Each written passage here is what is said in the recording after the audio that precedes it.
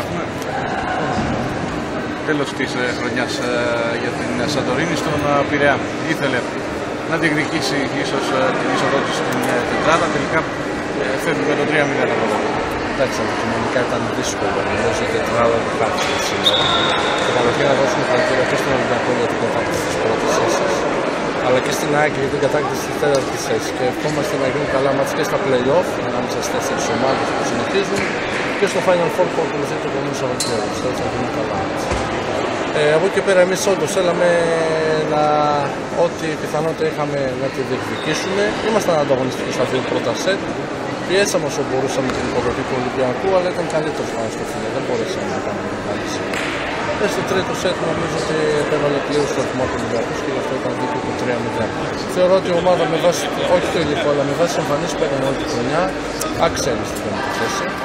Και νομίζω και άξιζε η Άκη στην τέταρτη θέση με βάση τη σταθερότητα που είχε. Εμείς όπως έχω ξαναπεί, είμαι εδώ δύο μήνες.